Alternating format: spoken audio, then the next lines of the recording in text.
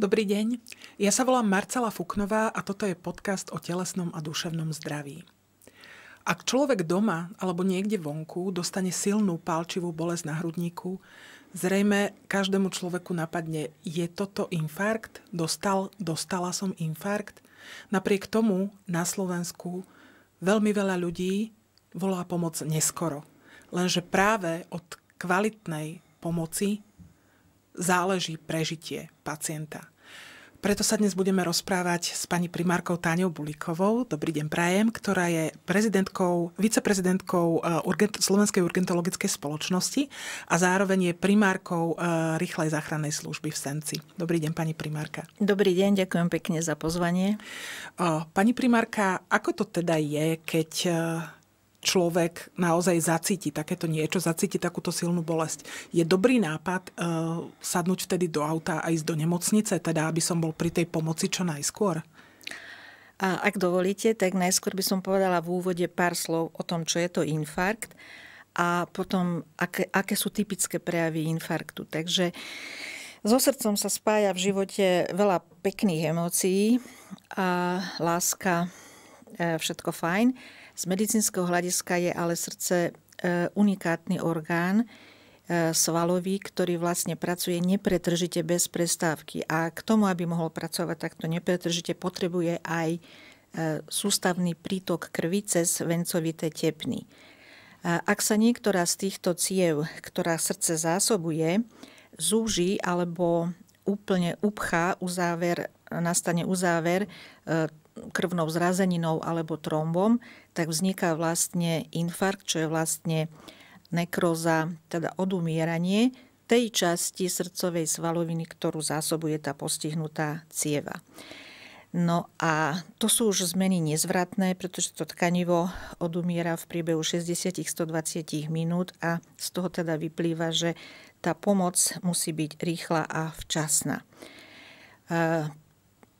Infarkt má typické prejavy v 80%, čiže my ho dokážeme už na základe anamnézy predpokladať, že je to srdcová bolesť, pretože e, okrem infarktu sa bolesti na hrudníku týkajú aj iných e, situácií, ale 80% populácie má typické prejavy a to sú bolesť na hrudníku v strede za hrudnou kosťou, ktorá je buď tlaková, pálivá alebo zvieravá. A čo je dôležité, táto bolesť je v hĺbke a pretrváva nepretržite minimálne 10 a viac minút.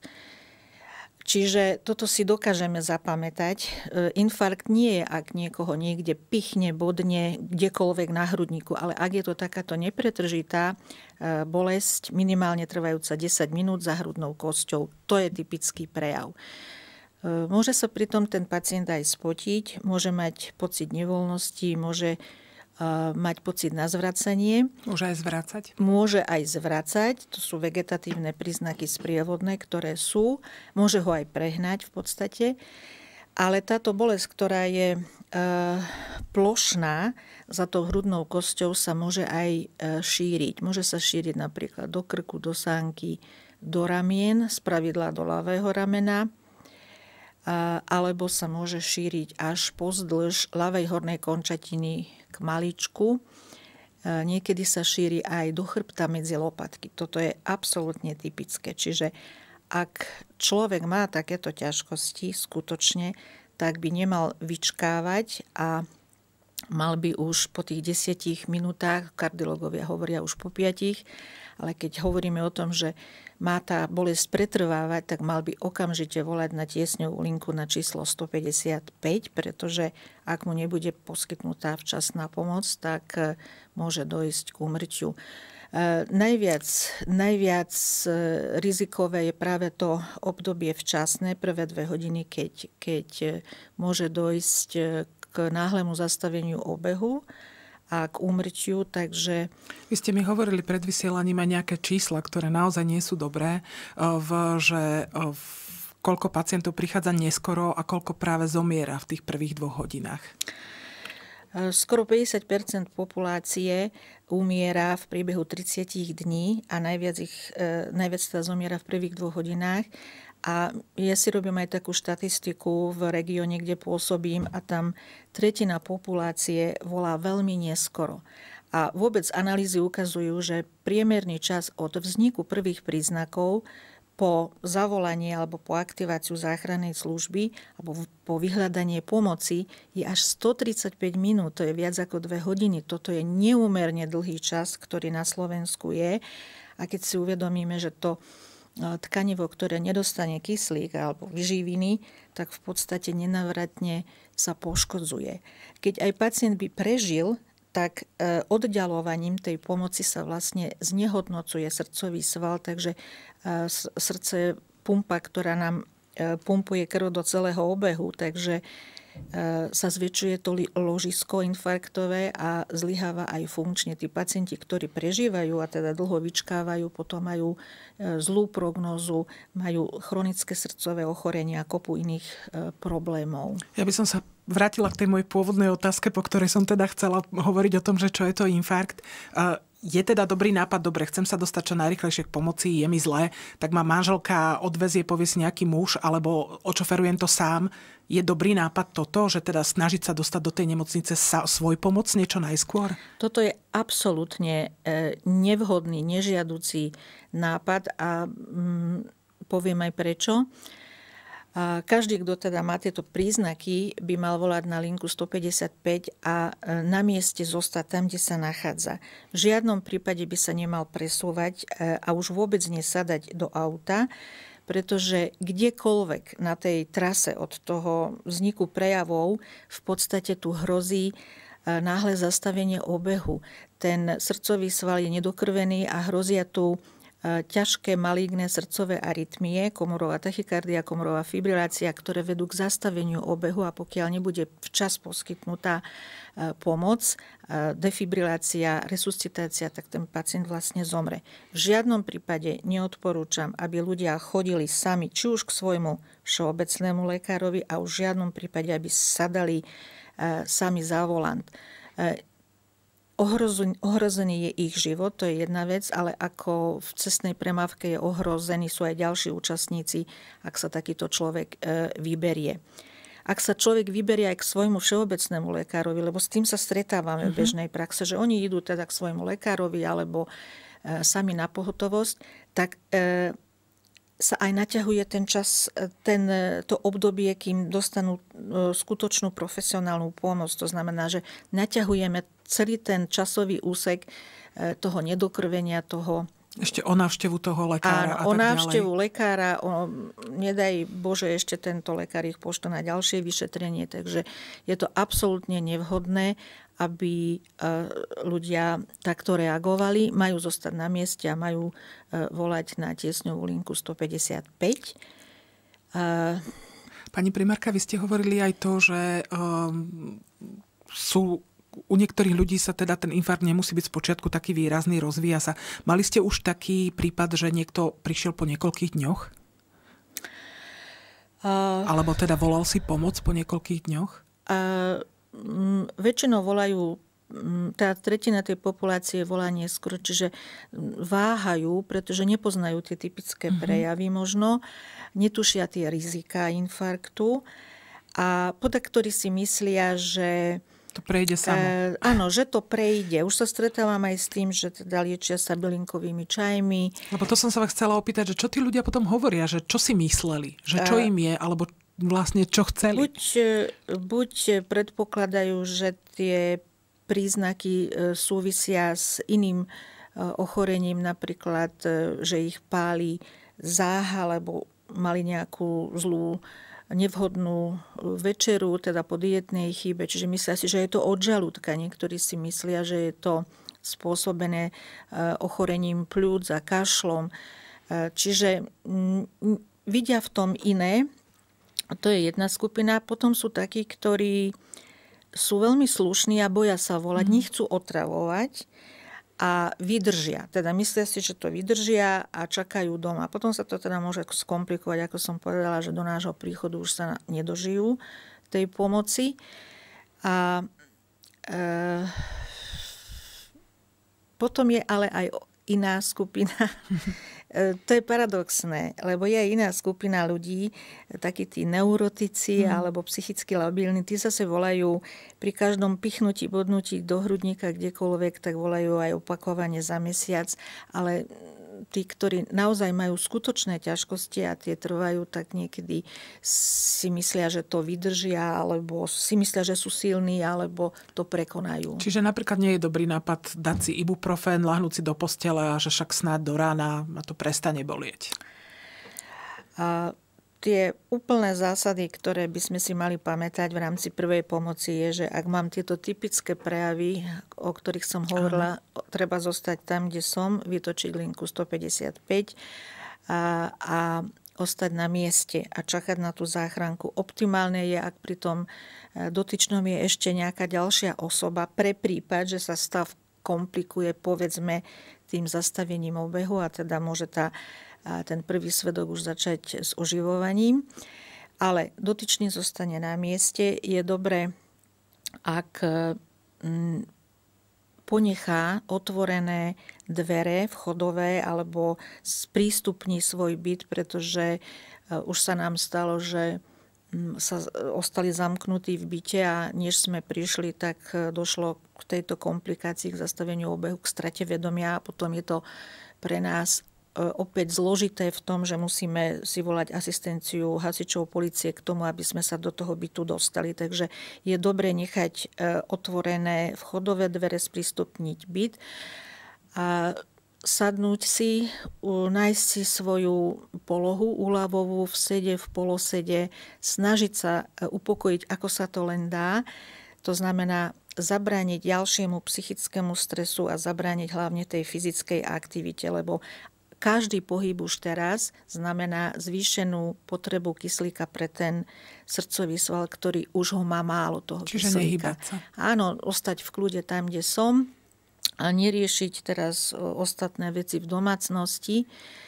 A pokiaľ má doma pacient anopirín, kyselinu acetylsalicylu, väčšina domácnosti má tieto lieky, tak je vhodné už v rámci prvej pomoci e, užiť anopirín tabletku. E, tabletka, ak je 400 mg, tak e, pol tabletky 200 mg rozdrviť zubami na prášok, prehltnúť a zapiť tekutinou, pretože tým rozdrvením sa zvýši vstrebanie tabletky a jej účinok.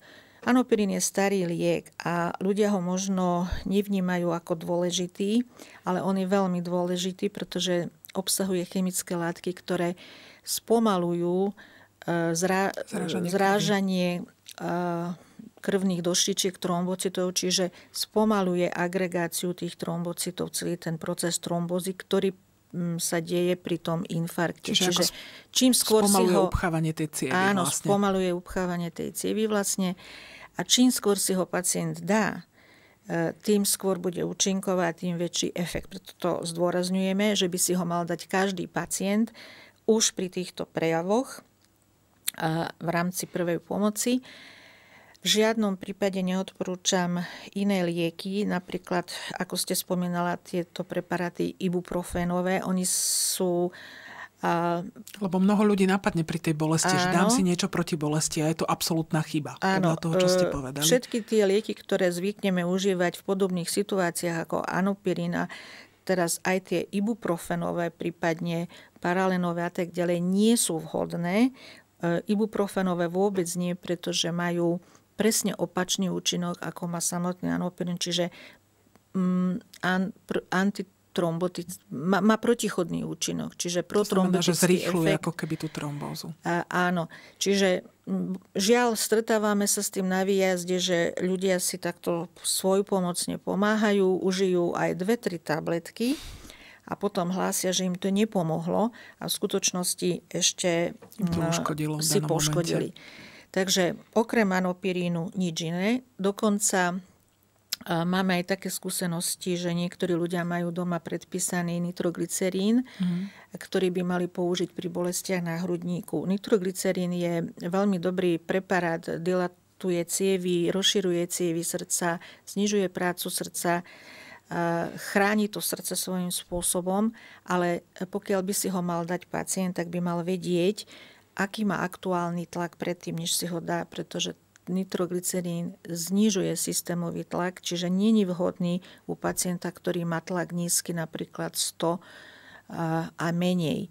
Takisto Čiže pri tom infarkte môže ten tlak klesnúť. Áno, hej, že, uh-huh. takisto mám skúsenosť, že niektorí pacienti uh, užijú aj dvakrát nitroglycerín po sebe, uh, pretože majú tieto bolesti, ale netušia alebo nevedia, aký mali krvný tlak predtým, než ho užijú a potom sa stane, že my prídeme a pacient má ťažkú hypotenziu alebo kolapsový stav. Takže to, čo by si mal pacient pri typických bolestiach na hrudníku dať, je ten anopirín, rozhrísť na prášok a, a čakať teda do nášho príchodu. Ak je s ním teda nejaký svedok, tak môže povedzme pripraviť už také veci ako nejaké zdravotné, zdravotnú dokumentáciu, ak je po ruke, alebo aspoň užívané lieky, a prípadne preukaz poistenca. Pani... Ešte som zabudla uh-huh. povedať, že jediná kontraindikácia, keď ten anopirín by si nemali dať, je, ak je známa precitlivosť. Ale to je zriedkavé. To je zriedkavé. Uh, v, pani primárka, čo, uh, možno, že keď sme spomínali ešte takých tých ľudí, ktorí sú možno duševne labilnejší, volajú vás práve naopak veľmi často kvôli rôznym veciam. Uh, v, s, čím sa, uh, s čím sa dá dajú tieto bolesti zameniť. Lebo často sa stáva, že ľudí napríklad bolí chrbtica a vystreluje im to do hrudníka a majú pocit, že teda ich bolí na hrudi. Ale uh, vy ste spomínali niekoľko znakov, ktoré tieto dve veci naozaj dokážu, dokážu odlišiť. Ktoré to sú? Áno. A pokiaľ je to len také ozaj sekundové pichnutie, bodnutie kdekoľvek v hrudníku, tak to nie je srdcová bolesť. To nie je bolesť pri infarkte. A samozrejme, že Mm, veľmi podobná je bolesť od chrbta, od chrbtice, ale predsa sú tam isté rozdiely, ktoré by sme mohli, na základe ktorých by sme mohli suponovať, že teda nejde o srdcovú bolesť. Chrbtová bolesť je bolesť, ktorá je lokalizovaná.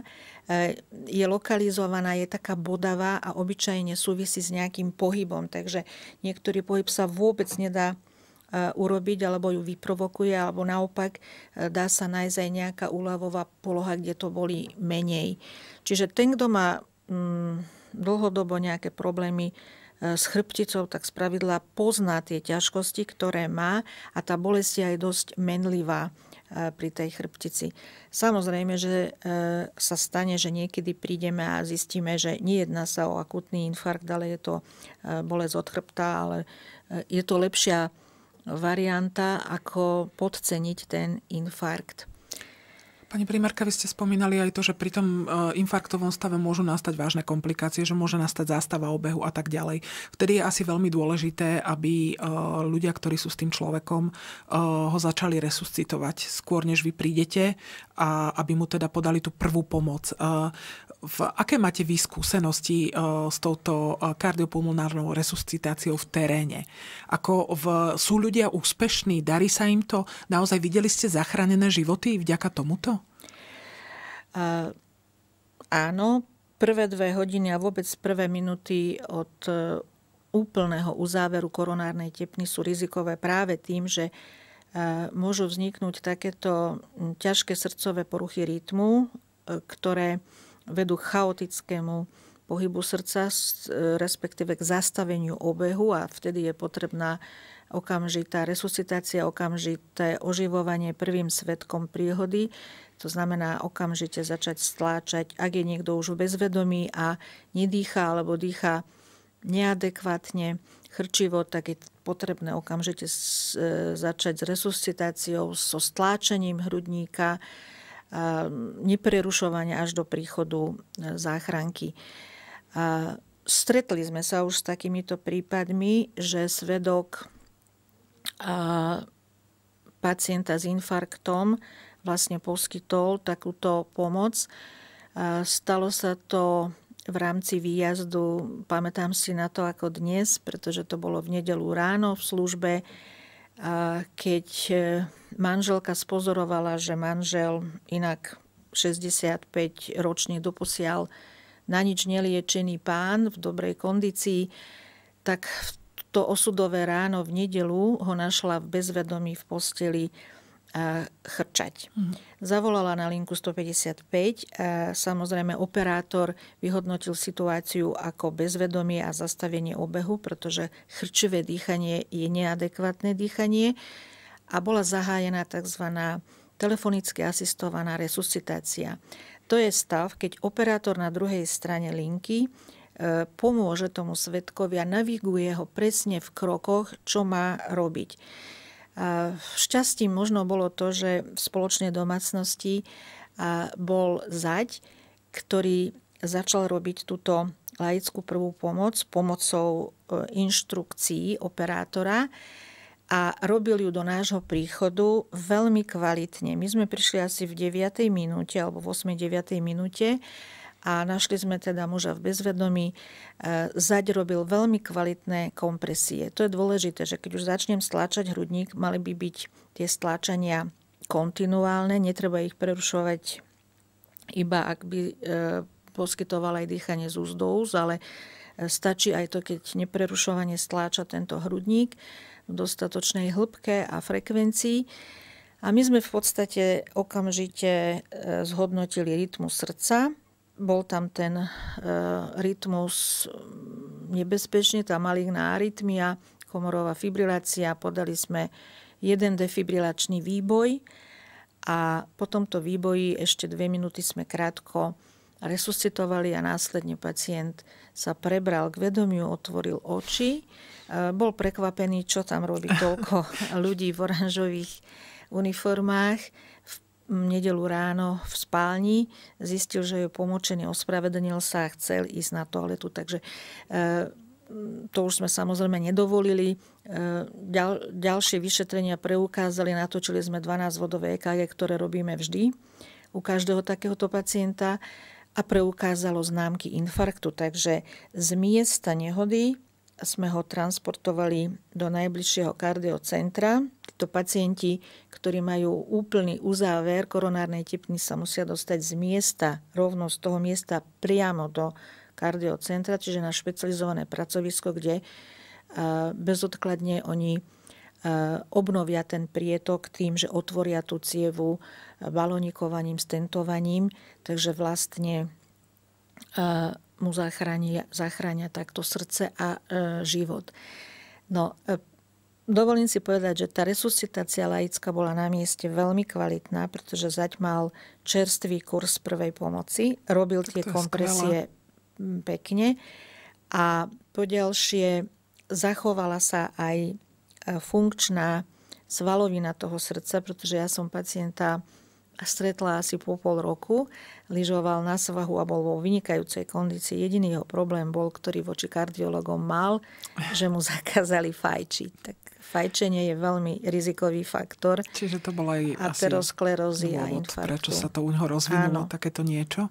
Keď ste spomínali, e, že ste natočili to 12-bodové EKG, pani primárka, čo vy všetko vlastne na danom mieste s tým pacientom robíte? Čo vy už môžete vyšetriť takto v teréne, alebo čo môžete vlastne vy dosiahnuť? Tak ako som povedala v úvode, e, pacient má zostať na mieste tam, kde je, nikam nemá chodiť aj keď sa to stane aj v ambulancii všeobecného lekára, tak všeobecný lekár, lekár zavolá linku 155 a príde posádka e, s lekárom alebo To som ja zažila lekára. pred dvoma týždňami, treba povedať, že takto skolaboval mm-hmm. pána, dostal infarkt priamo u lekára. A naše posádky sú školené, trénované v diagnostike infarktu aj v EKG diagnostike, takže je to profesionálna pomoc.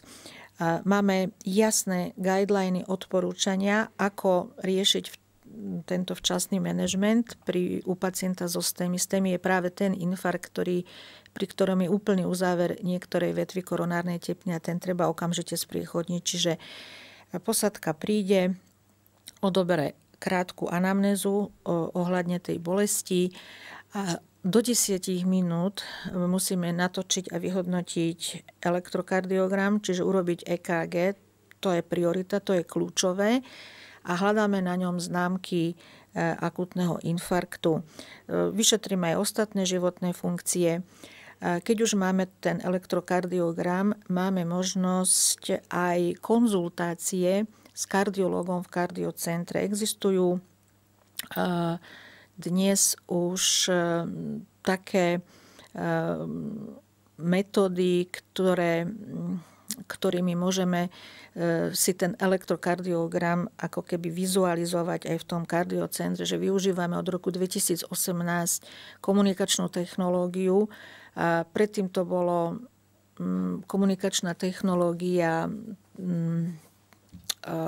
na princípe, že sa EKG krivka odosielala. Teraz používame aplikáciu STEMI alebo inú platformu MedText a vlastne ten záznam odfotíme, pošleme kardiológovi do toho kardiocentra a e, je možná v podstate obrazová hlasová konzultácia okamžite. Čiže tieto e, komunikačné technológie nám pomáhajú jednak v diagnostike, lebo cieľom je urobiť diagnozu v teréne, diagnozu toho infarktu v teréne a rovno z terénu aj e, pacienta odviezť do najbližšieho kardiocentra. Pri tých pochybnostiach je to vlastne dobré, pretože ten kardiolog takisto vidí ten záznam a potvrdí alebo nepotvrdí e, tie prejavy infarktu na EKG zázname. Čiže v tomto je to vynikajúce, skracuje to celkový ten ischemický čas a e, ako odkedy máme tieto aplikácie, tak e, väčší objem pacientov sa dostáva rovno z terénu do kardiocentra, nemusia a už je to vlastne mm, nevhodné, aby išli nejak posadky e, konzultovať EKG povedzme do najbližšej nemocnice. Toto sa už nerobí.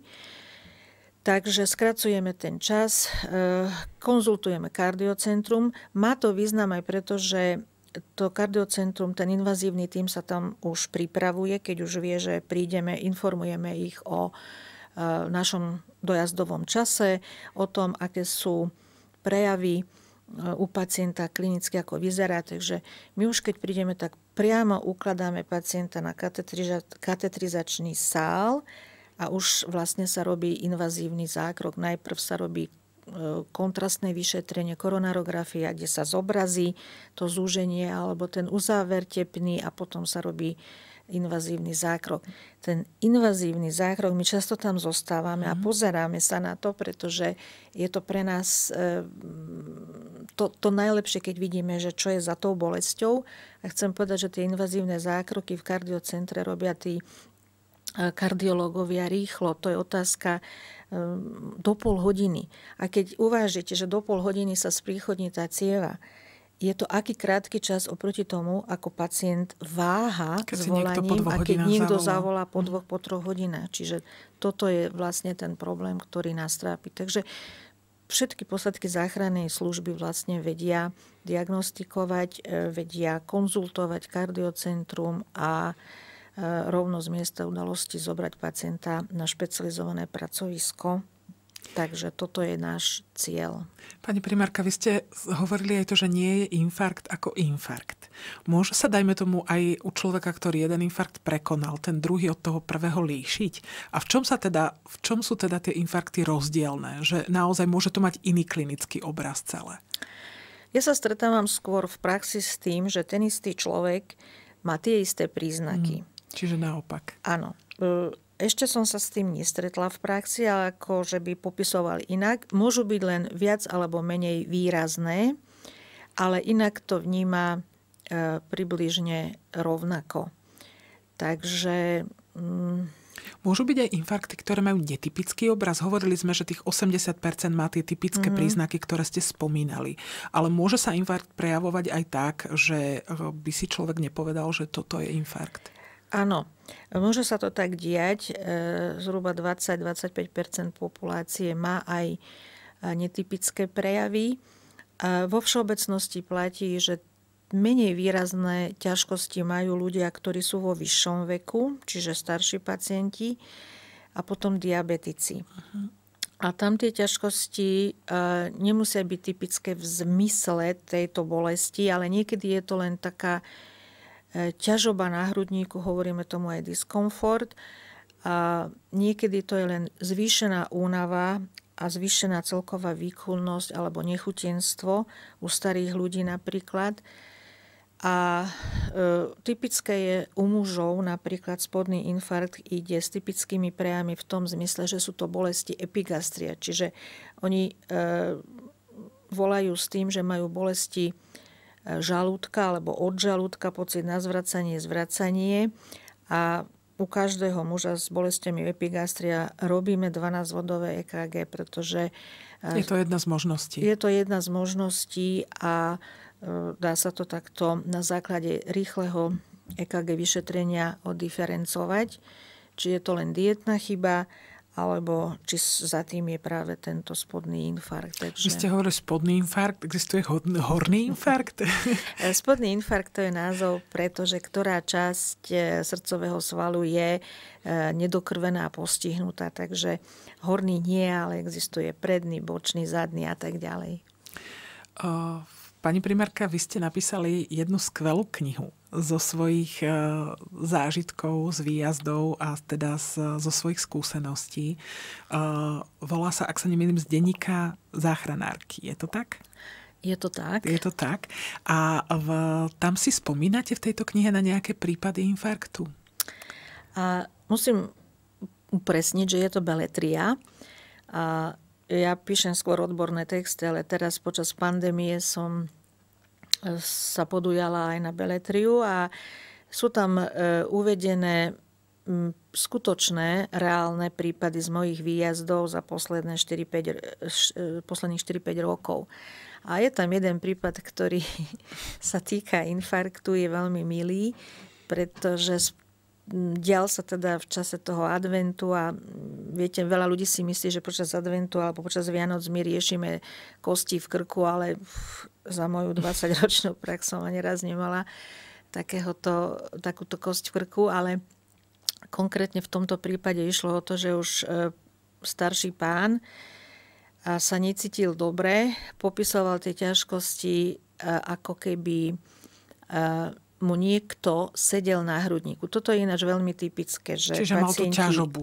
udávajú mm-hmm. ťažobu a vnímajú to pocitovo, ako keby niekto sedel mu na hrudníku, alebo kameň, alebo skalu mali na hrudníku. Už som počula aj také niečo, že slon mi sedí na hrudníku. A to nie je teda ako nejaká evková diagnóza, alebo čo, ale treba to tak vnímať. Takže zavolala záchranku jeho pani manželka, staršia pani, že teda posedáva, je menej výkonný a cíti tú ťažobu, bol za tým infarkt.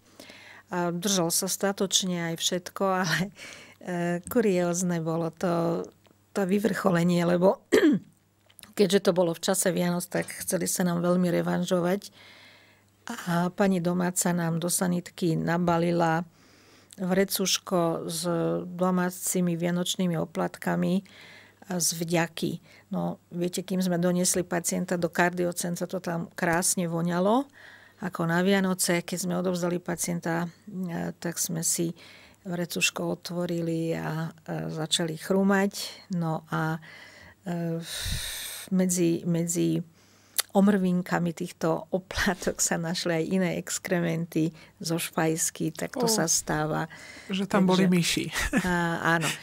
V ja v tej knihe spomínam e, príbehy zo skutočných výjazdov, ale neočakávajte tam žiadnu tvrdú severskú literatúru, pretože si myslím, že tých negatívnych vecí je všade mm. toľko okolo nás, tak som sa snažila vyberať tie príbehy, tie prípady, ktoré sa stali, ktoré sú skôr pozitívne, s, s dobrým, dobrým koncom. koncom. Mm. Keď aj nie sú s dobrým koncom, sú nejak inak zaujímavé a Možno niektoré sú veselšie, alebo iné sú viac pútavé. Ale takých tých uh, ťažkých um, nešťastí a tak, tak tých tam veľa v knihe nie je. Pani primárka, ja som si pri tej príležitosti, keď ste hovorili teda, že sú to mm. skôr úsmevné a milé príbehy, v, častokrát sa spája ľuďom predstava infarktu s tým, že niekto sa strašne rozčúli. Sú situácie, že proste naozaj chytí sa za hrudník a teda akože dostane infarkt. Sú situácie, ktoré naozaj spúšťajú infarkt, lebo vieme teda, že to je zrazenina, že to je skutočne, že to spôsobuje uzáver cievy, ale sú situácie, ktoré môžu ubližiť takto tomu srdcu? Uh, áno. Sú také situácie. Určite uh, aj náročný psychický stres môže privodiť infarkt a hlavne pokiaľ je to dlhodobý stres, uh-huh. pretože tie cievy ten proces aterosklerózy, ktorý poškodzuje stenu cívy prebieha dlhodobo a až potom na ňo nasadá ten trombus, čiže tá aterotromboza má nejaký vývoj, ale určite aj ťažký stres môže spôsobiť. A potom sú to aj také infarkty, kde tá cievná stena je intaktná, čiže nie je postihnutá aterosklerózou, ale dojde aj k iným mechanizmom, napríklad krču tej koronárnej tepných spazmu, alebo disekcii prasknutiu, alebo emboli. To sú síce raritnejšie, ale sú a týkajú sa skôr mladších e, vekových kategórií.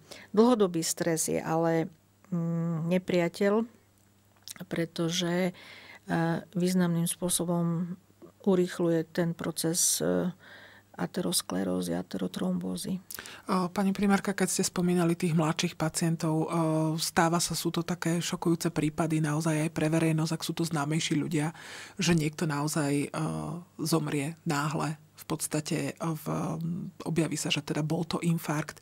Môže sa infarkt nejak dopredu ohlásiť? Je také niečo, čo by človeka mohlo varovať, že mu skutočne takáto nejaká rozsiahla srdcová príhoda hrozí? Tak uh, tie prejavy sme povedali, hej, čiže uh, tá bolesť je vlastne, bolesť na hrudníku je vlastne prvým varovným signálom, že niečo s tým srdcom sa deje a že vlastne srdce volá, e, že nemá kyslík pre svoju prácu. Čiže tá bolesť je typická. No, diabetici tú bolesť nemusia tak intenzívne vnímať. Ale... A... Tak som myslela, že možno aj v priebehu niekoľkých mesiacov predtým, než sa takéto niečo stane. Že či sa skutočne tomu človeku uh, to nejako ohlasuje, že, že proste sa tam, tá, sa tam tá, že je tam, dajme tomu, tá ateroskleróza, uh-huh. alebo že je tam nejaká iná porucha, ktorá k tomu infarktu môže viesť. Uh, srdce, srdce je zaujímavé možno tým, že to krvné zásobenie musí byť teda permanentne súvislé a keď sa tie cievy začínajú zužovať, priesvit sa začne zužovať aterosklerotickým procesom, tak to niekedy dlhodobo to srdce kompenzuje. Ale ak nastane zúženie toho priesvitu na 50% a viac, tak už začína byť problém. Už to začína človek vnímať práve tou typickou bolesťou na hrudníku, ktorú som hovorila, to, tej sa hovorí angina pectoris, že už e, ten signál tam je, že už sa to hlási. Tá bolesť e, často vzniká napríklad pri rýchlejšej chôdzi v zimnom počasí. V zime môže dojsť ešte aj k spazme, to znamená ku krču e, tepien, a, alebo pri ja väčšej čítala... námahe e, fyzickej alebo pri vystúpení krvného tlaku. To sú všetko veci, kde sa zvyšuje spotreba kyslíka. Som čítala, že ľudia pod minus 5, keď je vonku, že by vôbec nemali športovať. Že robiť takéto nejaké namáhavé, namáhavé športy, ako je beh na lyžiach napríklad, alebo to, čo zaťažuje srdce. Je to pravda? Uh, tak Isté, že to je záťaž, tak e, ak sa niekto dá na takýto šport, tak mal by byť e, dôsledne vyšetrený. A nie len tak sa zrazu rozhodnem jedno ráno, že začnem vonku v zime cvičiť a behať. Takže a, skrátka ten aterosklerotický proces je nemý do istej mm-hmm. fázy, ale keď už tie zúženia začínajú byť, tak jak som hovorila, že na tých 50%, už to začína organizmus e, vnímať tou bolesťou, tou nepohodou a hlavne pri aktivitách, kde treba toho kyslíka viac. Čiže povedzme pri zvýšenej tepovej frekvencii, pri záťaži, pri behu, pri rýchlej chôdzi, už to môže e, pociťovať ako bolesť a to už treba sa nechať dať vyšetriť. Nie čakať, že teraz mal som angínu pectoris, mal som bolesti, ustúpili sami a, a je dobre. Tak nie, tak mal by navštíviť určite e, lekára a nechať sa dať vyšetriť, e, ako tie cievy vyzerajú, ako to jeho srdce vyzerá. A ešte sú tu aj genetické faktory. Hmm. My sa aj na tú rodinu anamnézu pýtame, e, pretože mm, priemerný vek e, pacientov s infarktom je 63 na Slovensku, ale... Som sa chcela spýtať, čiže 63 60 rokov. je mhm. priemerný vek, ale my čoraz častejšie vo výjazdoch chodíme k pacientom, ktorí sú okolo 50 Čiže, uh, Čiže sa to sa posúva. ten vek znižuje. Áno. Mm-hmm. A keď to porovnáme ženy muži, tak e, u žien je to 8 rokov skôr nástup toho infarktu ako u žien. U žien tie sú chránené ešte estrogénom. estrogénom. A potom sa to ale v tom klimaktériu zase vyrovná. Takže ten priemerný vek je síce 63, ale... Ale aj takto sú mladí, nie v podstate je, mladí áno, aktívni ľudia. Je veľa, veľa tých, ku ktorým chodíme a sú tesne po 50 mm. A tá rodinná anamnéza má aj ten význam, že ak e, niekto v rodine uh, mal infarkt alebo aj cievnú príhodu mozgu, pretože to je podobné ako pri infarkte srdca, tak je to infarkt v mozgu, a, tak ak došlo k úmrtiu na infarkt alebo cievnú príhodu mozgovú v rodine do 50-60 rokov, tak to je už pozitívne a na týchto ľudí sa aj pozeráme, že je tam nejaká genetická záťaž, takže sa to môže stať. Čiže na toto si tiež treba dávať pozor, ak máme v rodine niekoho, kto skôr ako v 60 dostal infarkt alebo cievnú mozgovú áno, príhodu, áno. treba na to myslieť. Áno. V, pani primárka, keď ste hovorili, že toho pacienta ste stretli potom na lyžovačke o pol roka, v, ak sa vám ešte niekedy podarí dostať s týmito ľuďmi, ktorí dostali ten infarkt a prežili ho do kontaktu, snažia sa títo ľudia zmeniť svoj život? Čo by mal taký človek urobiť, ktorý ten infarkt teda prekoná a dostane?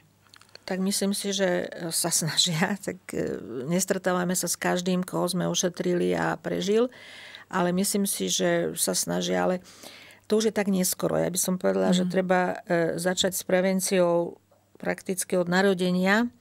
Ako náhle e, príde človek na svet, tak už, už aj deti by sme mali vychovávať v tom duchu, aby Mm, aby mali správne stravovacie návyky, aby neuprednostňovali cukry a tuky. E, fajčenie samozrejme je veľmi rizikovým faktorom a dostatok pohybu. Takže s tou prevenciou treba začať už od detstva a nie až po infarkte. To už je dosť neskoro, lebo už tie, viete, hovorí sa, že sme tak starí, jak staré sú naše cievy.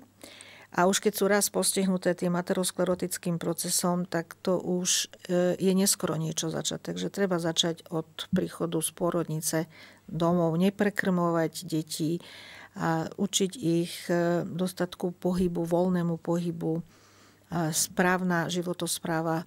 E, treba aj kontrolovať krvný tlak, teda hypertonici, diabetici a zvýšené hladiny cholesterolu. To sú veľmi zlí nepriatelia, takže toto treba mať pod kontrolou. Vlastný krvný tlak, cukor, a celkový cholesterol, to všetko sa dá ovplyvniť. Pani primárka, v, ešte jedna vec, ktorá o, zaznieva často z tých konšpirátorských kruhov, že pribudlo infarktov, pribudlo o, v týchto srdcových príhod, dávajú to do súvisu s očkovaním. Ako, aká je vaša skúsenosť z praxe? Ako to je?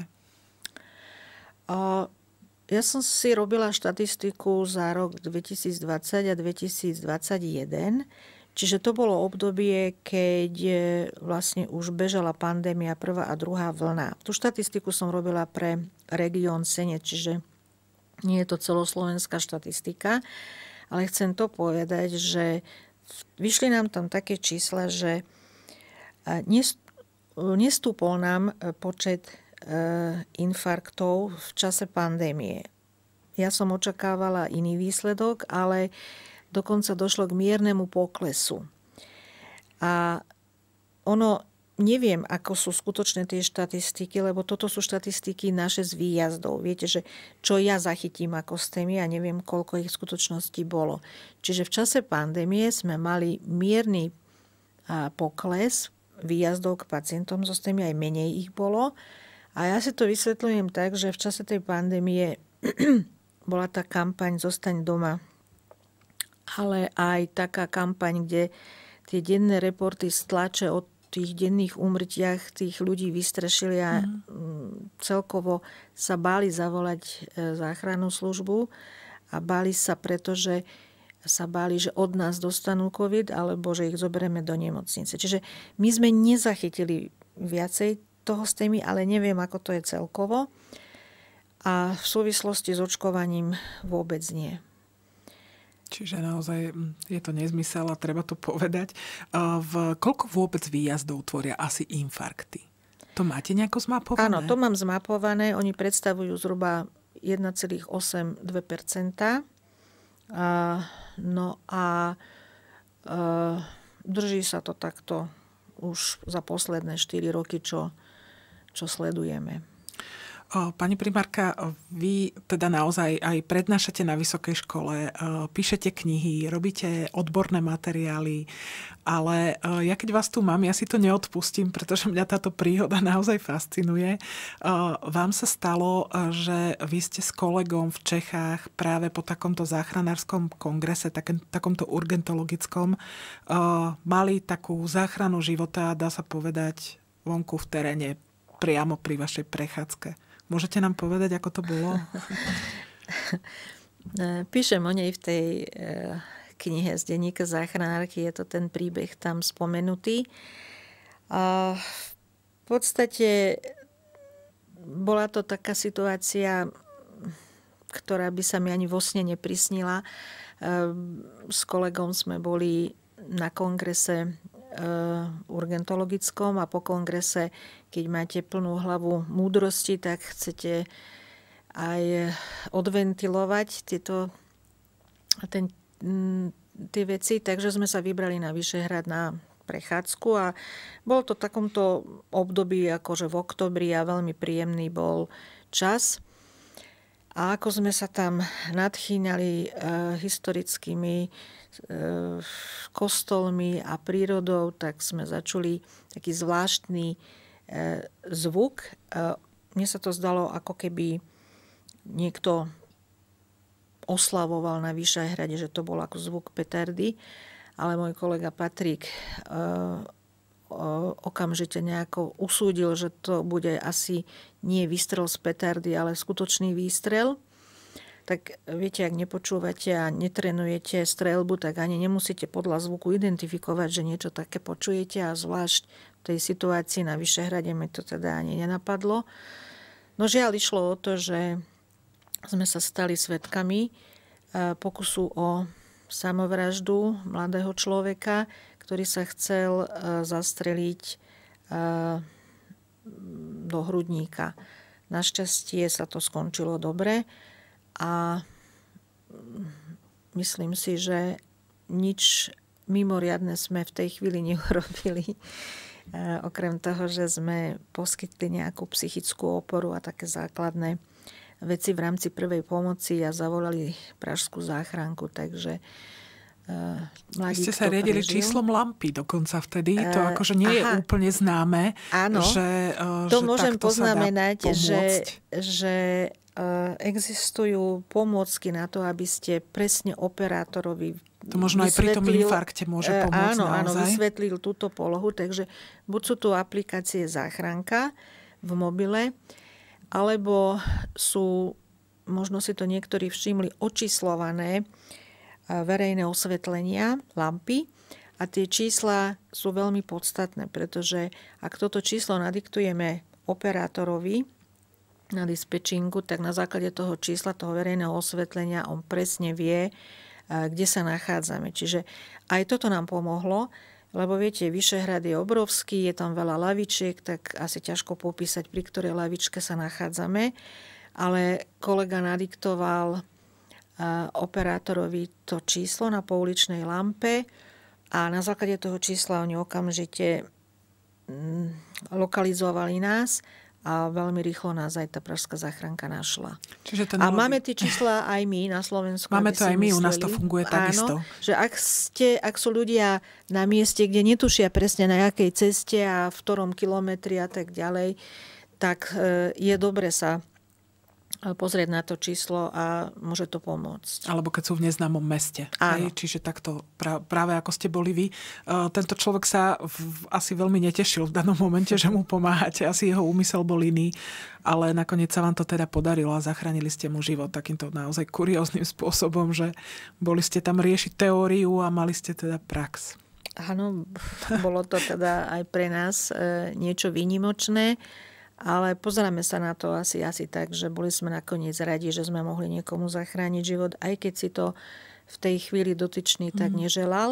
Ale to už tak býva u ľudí, ktorí chcú spáchať samovraždu, tak e, sú rozhodnutí nejako ukončiť ten svoj život, ale naša úloha je im práve pomôcť a život zachrániť. Takže to je Vaše záchranárska, áno, zmysluplná vec. Ja sa chcem aj s tým infarktom opýtať. Stáva sa vám, že si ten človek ešte teda, ak sa z toho dostane, ak to prežije, ak to zvládne, že si ešte spomenie k tomu prvý pomohol a príde sa, dajme tomu, poďakovať? Stane sa to?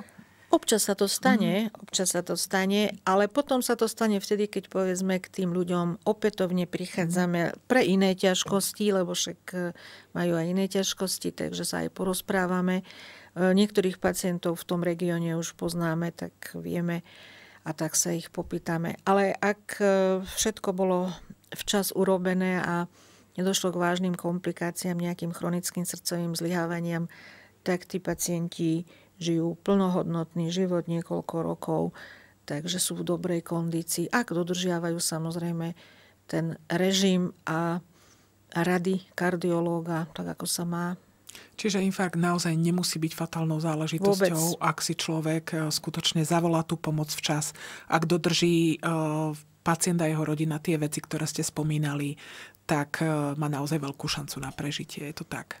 Určite. Hlavne, aby neváhal a aby neotálal, pretože to je jednoduché, zavolám si teda a, a zachránime tak možno veľa životov takýmto jednoduchým spôsobom a um, užitie teda anopirínu, čakanie na adrese, myslím si, že a nehýbať sa veľmi, ako ste spomínali. Áno, snažiť sa zachovať, e, ako sa len dá pokoj aj v tejto situácii a obmedziť akúkoľvek fyzickú aktivitu. Takže čakať na mieste. Nie v žiadnom prípade nesadať e, do auta ani na bicykel.